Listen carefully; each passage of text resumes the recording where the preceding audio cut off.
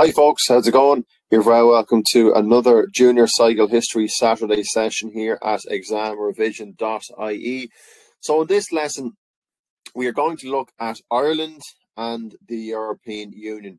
So there are two learning outcomes from our Junior Cycle History strands we're going to cover.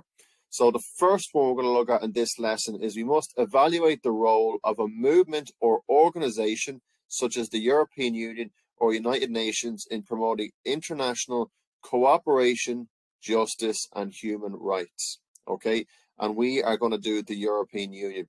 So that'll be the first half of the lesson. The second half of the lesson then is going to look at Ireland's place in Europe, how Ireland came to be part of the European Union, and what the European Union has done for Ireland. So, analyze the evolution and development of Ireland's links with Europe. Okay, basically how why we joined Europe, how we joined it, and how we have benefited from European Union membership. So the European Union, we've probably all heard of it. We might have a vague idea as to what it is.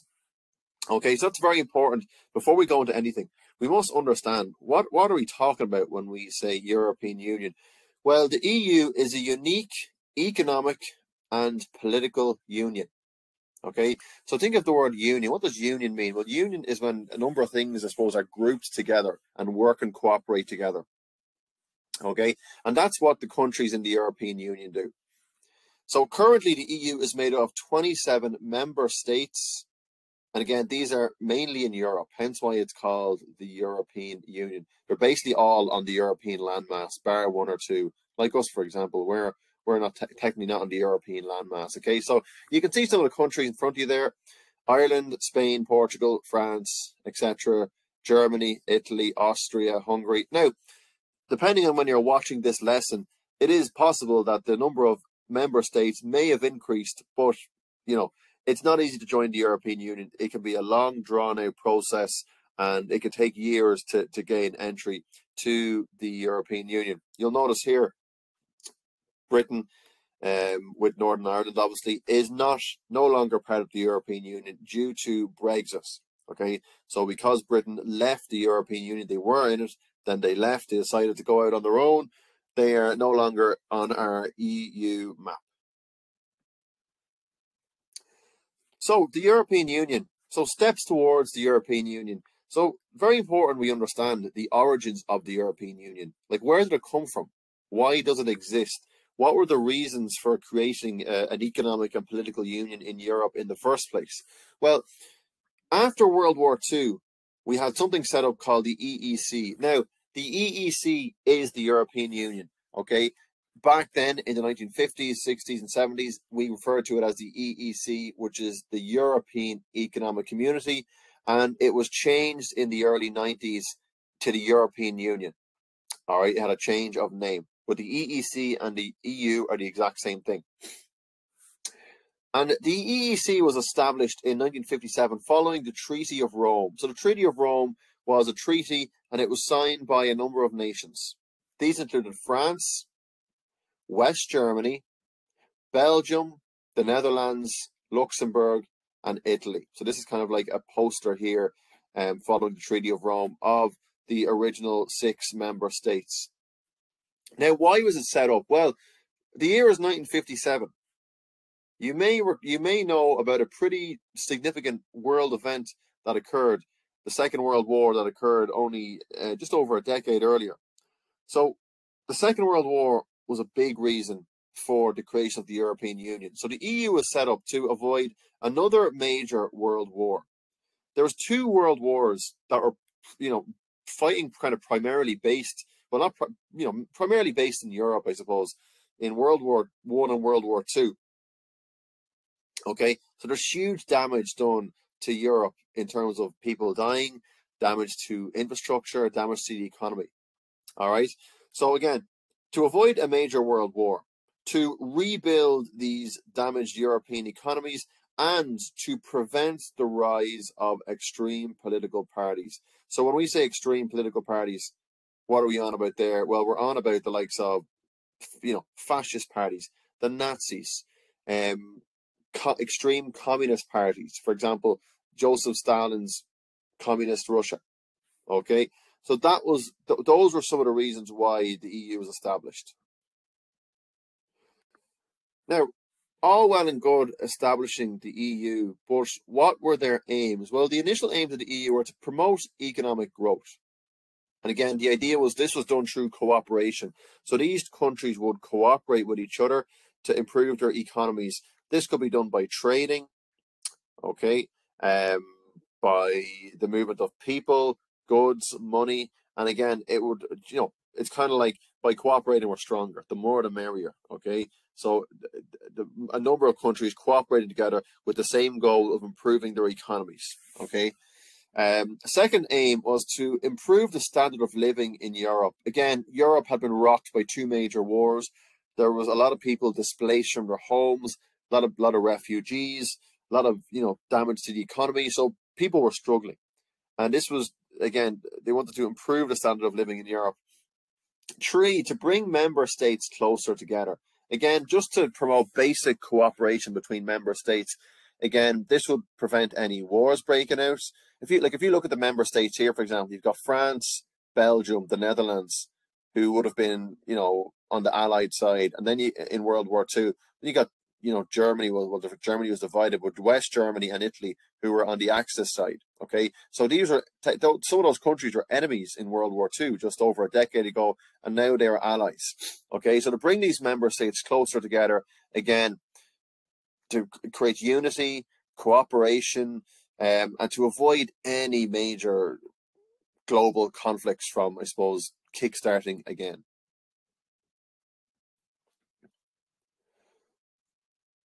So, one of the main things we need to look at when it comes to the European Union is how does the European Union promote international cooperation? This is literally taken directly from our learning outcome from the junior cycle strands.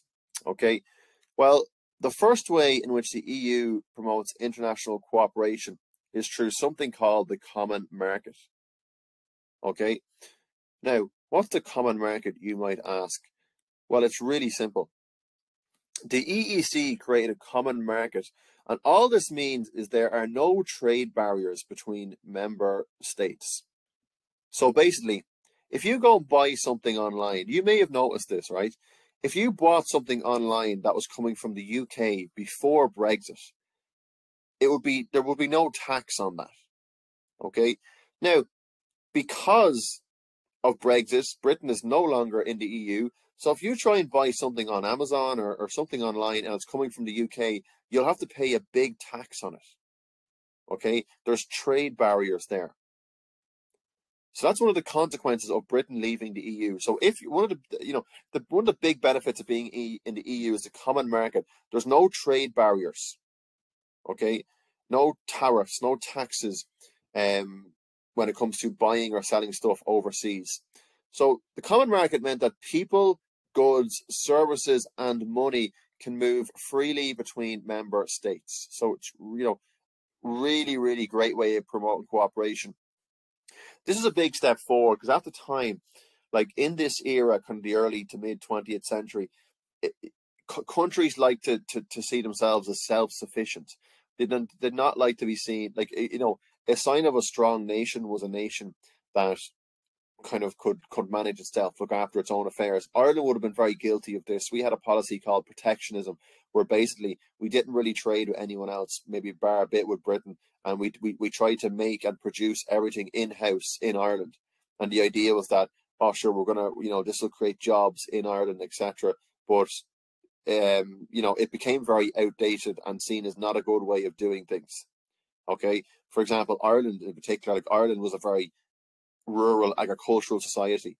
And, you know, if we weren't bringing any, you know, smart people in or new new companies or businesses into Ireland, we are never going to develop. Okay. So the common market was a big thing. And Ireland would eventually benefit from this when we would join the EU. A second way the EU promotes international cooperation is through the Common Agricultural Policy. Now, the Common Agricultural Policy, or CAP as it's known as, um, has been vital, particularly for Irish farmers.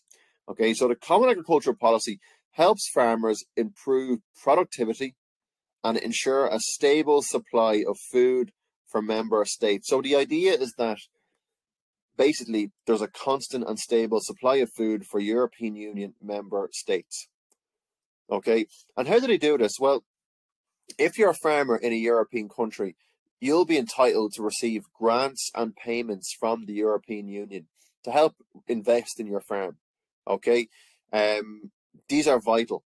These are vital, particularly for Irish farmers. All right, for farmers around all of Europe. Um, so there's nine main objectives. So apart from just improving productivity, there's nine main objectives of the CAP. One is to ensure a fair income. So to ensure farmers basically get a fair income for their produce, increase competitiveness so that like you know competition's good. If, if there's someone that's competing alongside you, it'll strive you to be better. Um, rebalance the power in the food chain. Climate change action, a big thing. So a big thing is like if you're going to be like to, to get access to some of the money from the common agricultural policy, farmers have to meet certain targets when it comes to emissions on their farms. Uh, environmental care, again, like for example, there are certain laws like you know you can't cut hedges at a certain time of year on farms because hedges act as natural habitats for birds and stuff. Um, again, preserve landscapes and biodiversity. This kind of fits under the thing I just mentioned. Um, support renewal, general generational renewal. Sorry, again, so this means you know like supporting the process of handing a farm down to a son or a daughter after the the the you know parent has retired. Um, create vibrant rural areas. So again, like you know, creating a, a rural area that is is economically strong and that people want to live in through farming and again protect food health and quality. So just maintain standards of food quality. So like you know for example irish agricultural produce particularly our beef is a very high quality. And we would be probably ahead of many other european countries um, when it comes to food health and quality. Okay so that's a common agricultural policy. Um again improves productivity and ensures a stable supply of food for all eu member states. So um, another way the EU would promote international cooperation, well, there's the Treaty of Rome in 1957 brought six countries into the EU. This cooperation will be increased through the enlargement of the EU or the EEC as it was known in the year 1973. Okay, so new countries would join in 1973, Ireland being one of them. Okay, so some of these countries that joined in 73 to include the, the six members that were already there were Denmark, Ireland, and the UK. All right. So this, you know, this shows the strength of the EU that a few years later, more countries wanted to join. Okay, because we could see the positives of being in the European Union, and this came at a time that was vital for Ireland. Okay, Ireland really, really needed to, I suppose, broaden its horizons and join the European Economic Community. Okay. The fourth way international cooperation was promoted was through the Single European Act. And the Single European Act basically it kind of does what it says on the tin. So it basically treats all of Europe as a single state. Okay, and it was signed in 1987. And what it did is remove the remaining trade barriers. So we mentioned how, you, how the European Union has a common market. Um, there were there were still some small trade barriers up until 1987 when a single European Act was signed, and this removed the remaining trade barriers. Okay, it kind of again turned the European Union into like a single state. Um, so like stuff could now move even easier and even free, more free through uh, across each member state. So this was a very, very significant way of promoting international cooperation. So Another way international cooperation was promoted was by signing this treaty. And this treaty was probably one of the most significant pieces of documents or legislation in the history of the European Union. And this was called the Maastricht Treaty. And it was signed in the year 1991. Okay. Um, now, what did it do? Well, it meant that the European Parliament had a greater power in how its member states were run. So Europe had its own parliament. So every country in Europe would have its own parliament, but Europe also has a parliament that deals with affairs within the European Union. So affairs to do with unity and cooperation within the European Union. And for the European Union to work effectively, it, its its parliament had to have a bit more say in its member states. So that was one of the, the, the I suppose, deals in the Maastricht Treaty. The second thing it did, the Maastricht Treaty, was it set out plans for a euro currency. So the currency we use today is the euro. Now, you're probably too young to remember this, but I can remember when the euro was first brought in. Okay, now not back in 91, it wasn't brought in until the late 90s, early 90s, but the initial plans for the euro were set out in the Maastricht Treaty. Okay, and again, the euro currency was going to be a currency that all member states had to use. The Maastricht Treaty also made people in member states official citizens of Europe. So if you're born in Ireland and you've got an Irish passport, you're also not only an Irish citizen, but you are a European citizen. And there's lots of benefits to that. It means you can move, travel freely around Europe and kind of settle in any country without the need for a, a visa application or anything. Okay? Because you're a European citizen. The Maastricht Treaty, because I suppose countries, you're, you're now able to move freer between countries. One negative impact of this is criminals. Criminals can move freely across borders in Europe. So that meant the police forces had to cooperate more. So police forces in each member state could cooperate better under the Maastricht Treaty. Okay. This Maastricht Treaty also officially changed the name of the EEC to the European Union. So again, the EEC, the European Economic Community, was now rebranded the European Union. It was kind of seen as a more modern, slicker name, I guess, and that's where that comes from. So the Maastricht Treaty was probably one of the biggest pieces of legislation in promoting international cooperation in the EU. Another major, major way international cooperation was promoted in the EU was the euro currency. Okay, now have a think the euro currency, how could this promote cooperation? Well, it's it's very obvious. No matter what EU country you go to, your money will work there.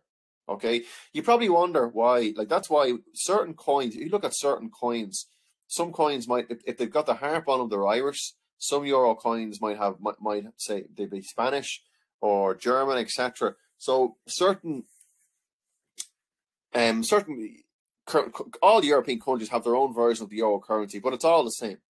Okay, a 10, 10 euro note in Spain is the same as, as it is in Ireland, in Germany, etc. And the euro currency was officially brought in in 99, and it meant that now all EU member states had the same currency. And again, this just it helped to promote trade, it helped to promote trade, and it brought stability to Europe. So that was a big thing. It brought stability. You see, the problem is, is different currencies kind of can outperform each other. For example, the dollar can outperform the euro, or the pound can outperform the dollar.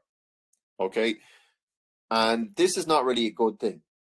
So in Europe, they decided every country has the same currency. So that meant it just promoted more stability between each country. So like Germany can't say, "Oh, our currency is doing way better than the French the French currency," okay? Because it's all the same.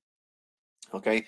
Now, the only one negative impact of it is is sometimes if certain countries go through economic hardship, for example, Greece went through economic hardship, and um, their economy declined probably to the lowest of any European country, and they were using the euro, and because of that, the entire value of the euro dropped. But on a whole, it is considered a positive thing.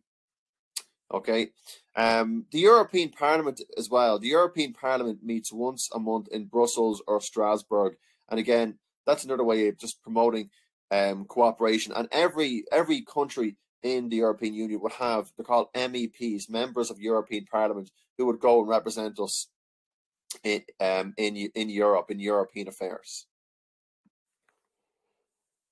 So we also need to look at how the European Union not only promotes cooperation, which you've already done, we must understand how the European Union promotes human rights and how the European Union promotes justice. Okay, um, and one of the main the, the human rights was officially brought into the legislation of the EU in the year 2000 through the Charter of Fundamental Human Rights, and this officially promotes justice and human rights in the EU. Okay, So it's part of EU legislation. So human rights must be treated fairly and equally across all European member states. And we're going to look at what's in this charter now. A lot of the stuff in this charter will, will be, you know, basic enough stuff that you've probably all seen or heard of before. So, as a European citizen, what are my fundamental rights? Well, you have the right to equality. Okay, so that's the right to equality, regardless of your ethnicity, religion, gender, political views. You have the right to be treated equally in society as everyone. And when I say equally, I mean equal in terms of the same access to healthcare, education, work, leisure as anybody else. Okay, you have the right to freedom. So you have the right to be free, free from any kind of suppression, okay? Whether it's government suppression, okay? Whether it is suppression from um, any or there, any extremist group in a country, you have the right to freedom, okay? The right against exploitation, so the right again, the right, the right not to be exploited, whether it's in the workforce, etc. Okay, Again, the right to freedom of religion. So the right to you have the right to practice your religion once you're not basically endangering anybody else. You have the right to practice your religion freely. You have the right to culture and education. So the right to education is a big thing, um, a very a, a basic thing, but something that a lot of us take for granted. Um, but it's very, very important, and it's a fundamental right in the EU. Okay, and we're very lucky. There's many countries throughout the world where certain people in society have don't have these rights. For example, Afghanistan, we know since the you know Taliban takeover of Afghanistan, women would not have most of these rights. They would not have a lot of these rights here because of because of, their gender. So it's it's really really sad in that way. Okay, um, very good. So these are the fundamental rights of the EU as laid down by the the EU Charter of Fundamental Rights. Okay. So a little brief, I suppose, case study we'll look at here is how the EU has dealt with refugees. Okay, so a refugee is someone who's fleeing their country. They're fleeing from either war or political persecution or terrorism. Okay, and the EU has had to deal with a number of refugee crises. Okay, so we've had the Syrian refugee crisis due to the Syrian civil war, and recently, uh, you know, in 2022, we've had the refugee crisis as a result of the Russian invasion of Ukraine. Okay, so the EU has like special directives and plans that it, it can activate and put in place to deal with refugees. Like, you know, you have to have plans in place for this because there could be millions of people leaving a country in, in, in the space of a number of months, fleeing war, and they're coming into Europe. So we need to have special plans in place to house these people and look after them. So in March 22, the EU activated the Temporary Protection Directive. So March 22, following the Russian invasion of Ukraine, the Temporary Protection Directive was brought in. Okay, and this was an, an, an EU emergency ski, scheme to deal with refugees. So again, a, a major way the European Union deals with human rights. Okay, and there's a number of things in this directive. The first thing is that it provided immediate and collective protection to displaced persons. So, displaced people who had lost their home or fled their home coming into the European Union were given immediate and collective protection. Okay. And again, it also aimed to reduce the pressure on the national asylum systems of EU countries. All right. So the idea behind it is that every EU country has to take in refugees and you take in the amount that you can basically hold or accommodate. Okay, because you think about it, geography has got to do with this. Like if, if you know countries are fleeing from, say, if if people are fleeing from Ukraine, the chances are the first country they'll go to is Poland because it's geographically next door to them and it's an EU country. So the idea behind this is that not everyone just goes to the nearest country to flee to you know the, the, the nearest country that they that they flee to. You're, you're, you're you'll be put into countries that can accommodate you. Okay. Um, and under the EU Temporary Protection Directive, it gives temporary protection, and this includes a residence permit. So you get a permit to say you're a resident of, for example, Ireland. Okay. Um, you've access to the labour market, so it means that you're given a work permit. So you're basically given a permit where you can work you know, that, that's hugely important to be able to work because if you can work, it means you can sustain yourself in that country. And it means you're not going to be as much of a burden on that country either because you can work and make your own wage and contribute to society.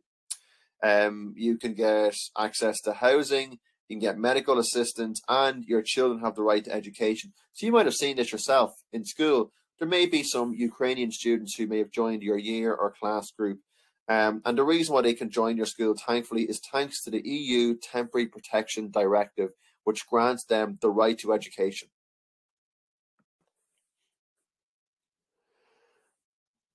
So, as well as human rights, we also have the European Court of Justice, and the European Court of Justice looks after law in the European Union. Okay, and basically, like this is this is important. You know, it's quite important that law is upheld throughout the European Union. Like the European Union, you know, there's common markets, everyone can travel and move freely. So that means that laws must be reasonably similar. Okay, all these countries they have the same currency. Um, so you know, a lot, a lot of things about the countries are kind of more uniform and the same because they're in the European Union, and law is one of them. Okay, um, so it was it was established in fifty two for dealing with law in the EU, and the Court of Justice ensures that EU law is enforced the same way across member states. So laws set down by the European Union must be the same across all member states. They can't be different. So the Germans can't be enforcing one law in a different manner to the French or the Belgians or the Spanish. It must be the same and I suppose, yeah, the same and consistent across all EU member states. Now, we're going to look at, a, at, at one very good Irish example of how the EU made sure that law that the law was enforced in the in the same way across its member states. So the example of this I'm going to talk about is the David Norris case. Okay, you may have heard of David Norris. He is an Irish senator, and still is to this day. Okay, now we know Ireland was a country that I suppose lived under the grip of the Catholic Church for a long time. So, for example, things like divorce was illegal, homosexuality was illegal, and homosexuality is what we're going to talk about now. So, in Ireland, homosexuality had been illegal for centuries. Okay. And this man here, David Norris, said he, he wanted to challenge this. He believed it was wrong. So Senator David Norris challenged this in 1977 as one of the founding members of the Campaign for Homosexual Law Reform. Okay. And Norris basically found a loophole in the UN Convention of Human Rights that he believed he could use to basically outlaw or outlaw the or, or get rid of the law against homosexuality in Ireland. So Norris believed that criminalizing homosexual acts in Ireland was in breach of the right to private life. That's very important. The European Convention of Human Rights stated that everyone has the right to private life. Okay, so if you're a homosexual person, you have the right to practice your sexuality, I suppose, in private. Okay, even you know because it was illegal in Ireland, but the European Court of Human Rights stated that you could practice basically and do whatever you want in private in the comfort of your own home.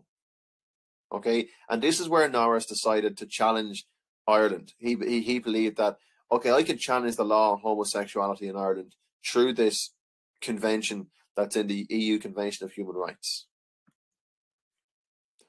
So Norris took his case to the Irish Supreme Court, and unfortunately, he eventually lost his case in the Irish Supreme Court in 1983. But this didn't stop him. Okay? So we know he found one of the laws in the European Court of Human Rights was that you had the right to do anything you want basically in private. Okay? So in 1988, Norris appealed to the European Court of Human Rights. The court found in his favor of Norris, okay, and gave people the right to engage in same sexual activity in private. Okay, so very, very, I suppose, clever work by Norris. Ireland at this point was in the EU, but homosexuality was still illegal. Okay, Norris found a, you know, found a, an article or a law in the EU Court of Human Rights and decided to use this to challenge to challenge the Irish law. Okay, that it is okay to engage in same sexual activity in private. And this challenge would eventually pave the way for the decriminalisation of same sex activity in Ireland in 93. So basically, homosexual activity was decriminalised in Ireland. It was no longer illegal to be homosexual in Ireland. Okay, and much of that is down to not only David Norris, okay, so obviously fantastic campaigning on his part, but Irish membership in the E in the European Union. So membership in the European Union, one of the things that the European Union promotes is equality. So if you're to be an EU member state, you must be an equal nation and promote equality among your members. So, folks, now we're going to look at more in detail at Ireland and the European Union. Okay, so Ireland, the EEC. Well, we know all the benefits of joining the EEC: the cap, the common markets, the removal of trade barriers, the euro currency. Um, but why specifically did Ireland join the EEC? What was Ireland like in the mid 20th century that joining the EEC would be a big benefit? Well, at the time, Ireland's economy was very much an agriculture based economy, and the only really country we trade with was Britain. They were our only trading partner, and economically, we were very weak. So, again, that was the one huge reason. Joining the EEC would give Ireland access to EU markets Okay. And it meant that we would not completely rely on Britain. So we could now trade with many countries. We could buy stuff from Spain. We could sell stuff to France. Okay. We know Ireland was a very agricultural society. Okay. And the common agricultural policy, okay, would benefit Ireland's many farmers. So the, the CAP, CAP, Common Agricultural Policy, would be vital for Irish farmers. Ireland was a country at this time that basically had very few industries. Okay, very few. So the idea was it would possibly attract foreign companies to set up in Ireland. Okay, so if Ireland is an EU an EU member, um, EU companies or American companies could establish themselves in Ireland easily, and this would, without a doubt, lead to the creation of more jobs in Ireland. So loads and loads of benefits to Ireland joining the EEC or the EU as we, we, we later know it as. And this is vital, guys. This is vital for Ireland, and it's a huge reason why uh, uh you know the EEC basically has been huge for Ireland, and we're going to look at this now.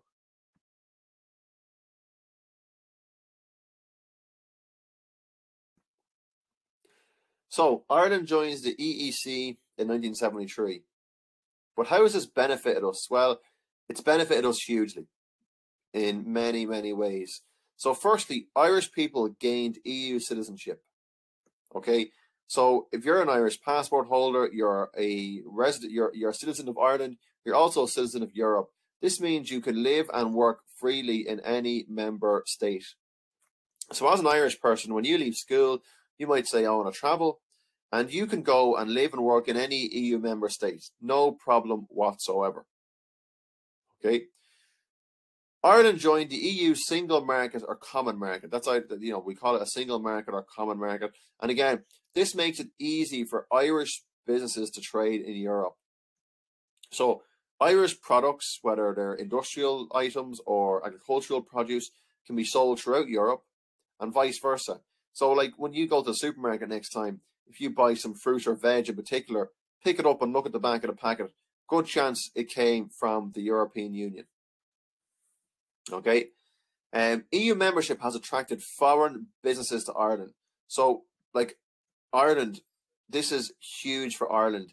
Loads of foreign businesses are based here. Loads of big companies have their, their European headquarters in Ireland. TikTok, um, they're based in Ireland. Apple have the European headquarters in Ireland. Facebook are based in Ireland. Okay, so a lot of huge companies are based in Ireland. Um, and again, because we're in the European Union and because Ireland actually has quite a low tax rate as well. Okay. Um, it is estimated that about 700,000 jobs have been created in Ireland since joining the EU. 700,000. So almost 1 million jobs. And this number will hopefully keep on rising with further investment. That's a huge, huge, huge amount of jobs created in the last few decades. And again, thanks to EU membership, the more companies, etc., that set up in Ireland, the more, I suppose, jobs as a knock-on effect are going to be created. How else has Ireland benefited from the EU? Well, Irish farmers receive 1.2 billion euro of funding each year through the Common Agricultural Policy. So, if any of you are from a farming background, ask your parents about the Common Agricultural Policy. I guarantee you they'll speak very highly of it. Okay, because it gives them grants. They get grants. They get some money for that to help support themselves as farmers.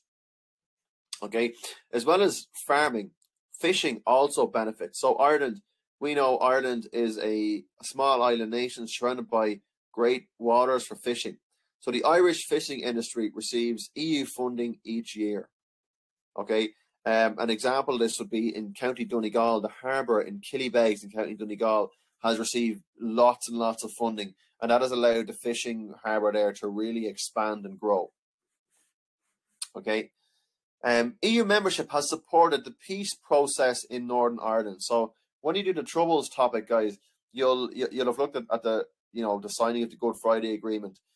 Um, EU membership has has helped to benefit that. Okay, so you know we know one of the things in EU in the in, in the European Union is they want to promote promote international cooperation um, and end violence. Okay, so they would have played a big part in trying to support the peace process up north. EU EU legislation makes it easier and cheaper to travel to other member states. So, like if if you've ever been on holiday to any European country or travel there, like it's quite an e- it's quite easy.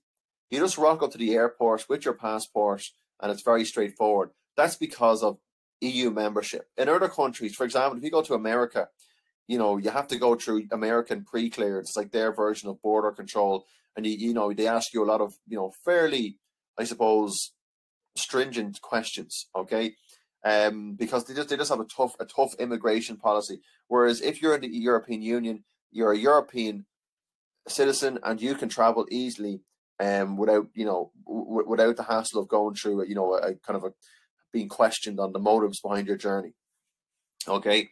Um, another actually big benefit we can say for the EU is EU structural funds.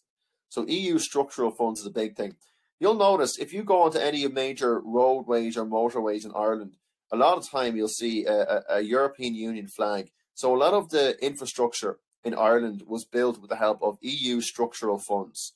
Okay, so a lot of European countries are saying they'll have really good motorways and stuff because the European Union helps to build those. Okay, again, it just makes the country more connected and more, I suppose, economically strong. The final way in which Ireland has benefited the EU is equality. Okay, so Ireland was not an equal society when we joined the EU. Women were kind of treated as second class citizens in a way in kind of the mid 20th century. We know like contraception was illegal. We know that things like divorce were illegal. Women were paid less in the workplace. Homosexuality was illegal. So, one of the things about joining the EU is think back to our Charter of Fundamental Human Rights. Okay, um, equality was a big thing. If you're in the European Union, you must promote equality. So, Irish women were discriminated against when it came to work back in the 1970s, but this would change. Okay, um, one of the things actually in the 70s was, was the marriage bar. So the marriage bar was very harsh. It meant that when a woman got married and had kids, she had to give up her job basically. Okay, um, but all this was abolished eventually when Ireland joined the EU. So European legislation has ensured that Irish men and women are entitled to equal pay for doing the same job. Okay, very, very important. They also have legal protection when it comes to equal and fair treatment at work. Okay, that's a huge thing. So women were not treated and paid equally like men were. Okay, um, both women and men are entitled to maternity and paternity leave under an EU directive as well. Okay, so it, it made big steps in equality in Ireland. Okay, equality in gender, equality in the workforce, um, as a result of EU membership. Okay, Okay, folks, thanks a million for tuning into this Saturday session of Junior Cycle History here at examrevision.ie. I hope it was beneficial. We'll see you in our next session.